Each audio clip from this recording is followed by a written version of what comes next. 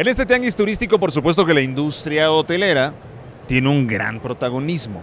Y claro que hay muchas personas que se encargan de fomentar todos los días la misma alrededor del mundo, me atrevo a decir.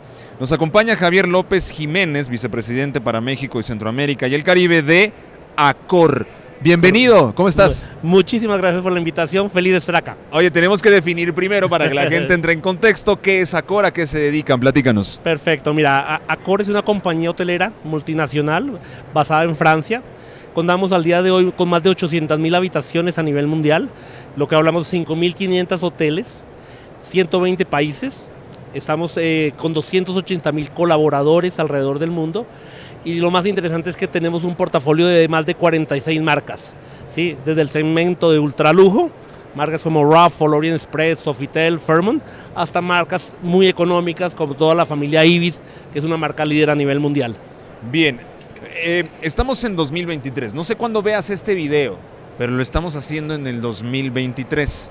La industria hotelera cobra mucho protagonismo en esta época, pero están sufriendo o están padeciendo con el tema de la competencia, plataformas digitales, eh, alguna deficiencia en ese sentido?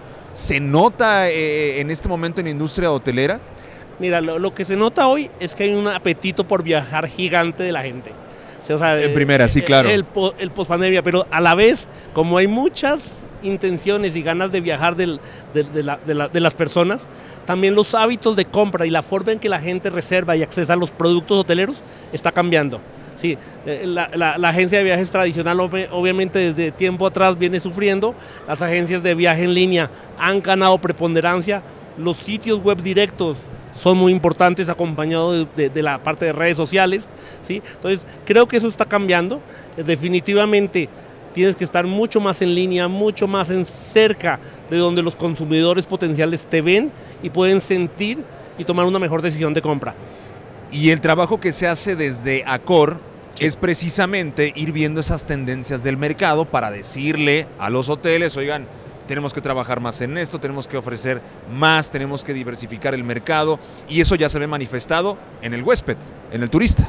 Correcto, en, efecto, y algo del, lindo del sector hotelero y más hoy en día con las marcas que nosotros manejamos en México, como son la marca Novotel y la marca Ibis, que son productos muy orientados al cliente de negocios. Correcto. Entonces al final hay una parte de contacto con las empresas, con las compañías, que es, fundamental para nosotros.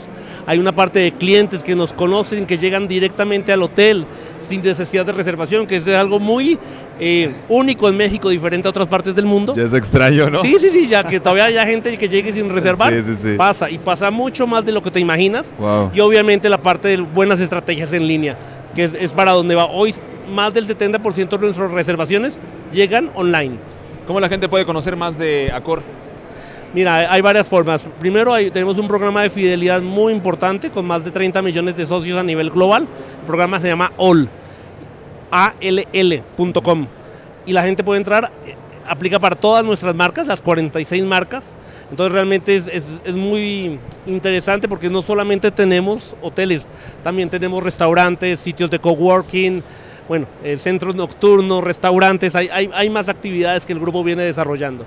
Y obviamente acor.com es el sitio donde vas a encontrar el detalle, todas las marcas y todas las ubicaciones en los 120 países donde estamos. Excelente, muchísimas gracias y enhorabuena, gracias por Muchísimas gracias por el espacio, que estés bien.